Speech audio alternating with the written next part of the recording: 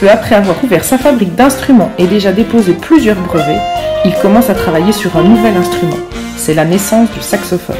Il en déposa le brevet en 1846.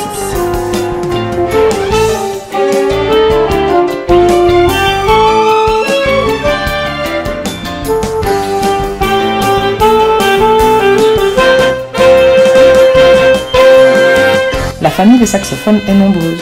Du plus petit au plus grand, nous avons le sopranino, le soprano, l'alto, le ténor, le baryton, le basse, le contrebasse.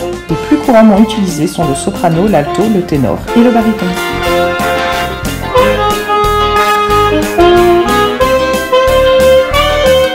Le saxophone appartient à la famille des instruments à vent et plus particulièrement à la famille des bois.